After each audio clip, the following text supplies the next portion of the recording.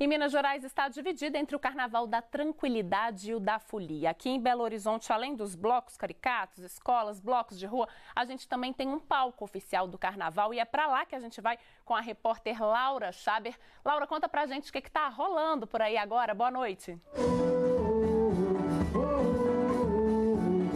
Ei, Aline, o clima aqui na Praça da Estação tá uma delícia, viu?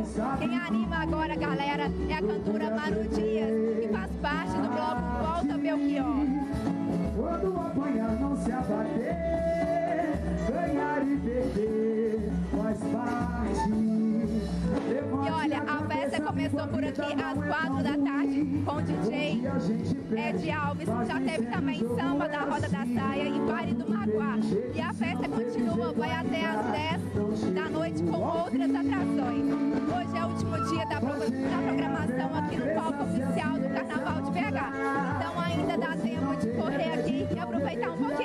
Se anima, Aline!